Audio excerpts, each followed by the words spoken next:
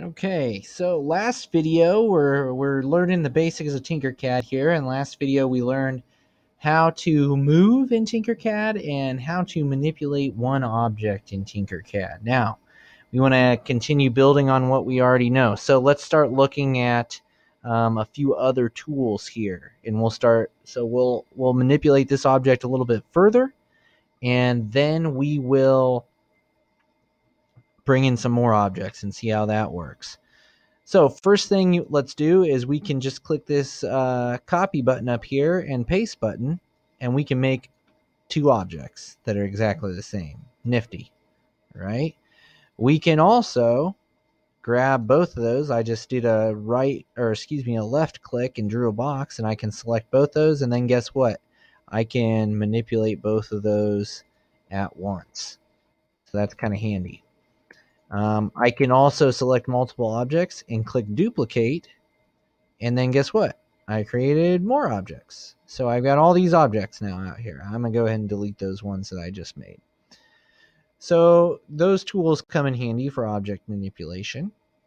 And then what we want to think about is, well, what? how do we combine objects. So this is all great to be able to make objects, but isn't the point of Tinkercad to be able to make something cool? The answer is yes.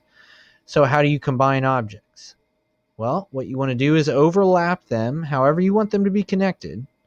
Right? These ones aren't aren't very well placed here. So guess what? Rather than trying to move it by hand, you know, and get it just perfect, which can be kind of tough, I'm going to set it and I'm going to use my number key, or not number keys, arrow keys. And I can just move things incrementally to get them exactly how I want them. So let's say I want it like that. I'm going to go ahead and group these two together. Um, and then, you know what, let's make them uh, orange just for fun here. Then what I want to do is click group up here, this little button. And then bada bing, bada boom, now we have one object instead of two very handy. Now when I manipulate this object, I manipulate, it's all one object now. Okay, it's all one object. So what about taking chunks out of objects? That's a good question what to do with that. So here's a pink cylinder. And let's just mess with this thing a little bit here. So let's say I want to have a hole in the bottom of this thing over here. Right? Well, then I'm going to go to hide and then you see my cylinder becomes um, kind of somewhat transparent. Same process here is I'm going to then, I've got that where I want there to be a hole. And I'm going to go ahead and select everything and then group them again. And now I've made that hidden object part of this object, which makes it a hole. Now this doesn't have to be in the middle of something. I can come over here and I can hide this object and we can just take kind of a chunk out of the side of this thing too. Okay, just like that. So that's how you cut holes and that's how you combine, duplicate, and cut holes in objects in Tinkercad. Okay, so now what if I want to be a little bit more precise? I just kind of threw those holes in there. I wasn't measuring very carefully. Well, that's when you need to start bringing the ruler in. So if we bring the ruler in, Okay, we set it at a specific location.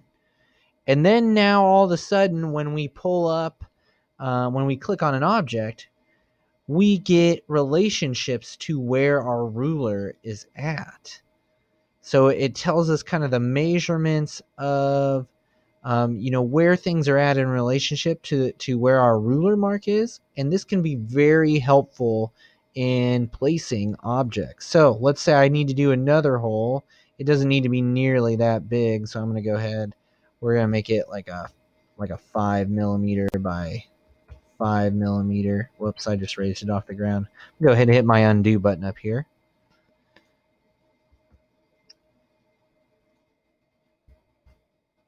Okay, so I got a five by five. And let's go ahead. I'm gonna get scroll down here a little bit. We'll make it. We'll do. Let's say I want a hole all the way through this thing.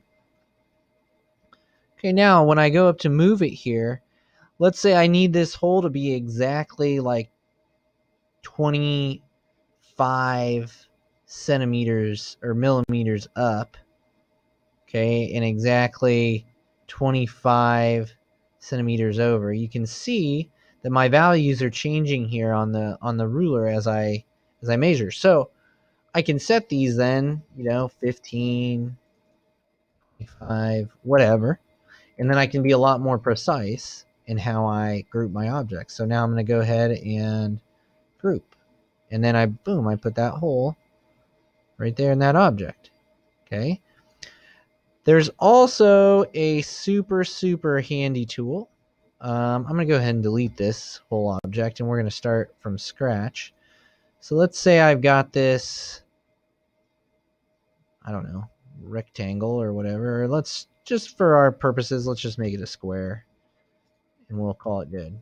All right. And let's say that I need a hole dead center in this square. All right, so again, I'm going to make my cylinder into a hole. All right, I'm going to make it a little bit taller just so we make sure that, that it gets all the way through there. And I can try to place it here. And I can even move these things so it's like right on the ruler over here. And then I can kind of say, well, it's 75 by 75, so it should be like 32, 32, whatever. All right that would work and you could take the, put in the time to figure out where exactly this thing could go in the middle but it takes forever to do that and odds are you're not going to come out just right anyway unless you're super super careful so what we want to do is come over here and use this align button so if we use this align button then it gives me these dots and what I can do is I can align my objects together using these dots so I can say I want them to be in the middle this way, and I want them to be in the middle that way, and boom, now that hole is perfectly centered. I can group it. There we go. Perfect every time. If you want something centered, you don't have to mess with it. So that's how you use rulers to get objects placed, and that's how you use the alignment tool to get objects placed in Tinkercad. So you can be a little bit more precise. Well, I think that's really all I wanted to show you for the basics. The rest of it is kind of up to you to figure out. And uh, we'll do some experimenting. We'll see what you guys can make. Good luck.